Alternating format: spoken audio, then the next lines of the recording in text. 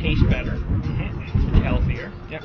And it doesn't have um, preservatives and additives and anything like that in it. Exactly. And going back to a style of bread making that was really prevalent about 600 years ago, and getting people reacquainted with food that has been unaugmented. It's interesting to me, that because one of the policies the Green Party's been proposing is uh, tiered regulations, where you have one set of regulations for the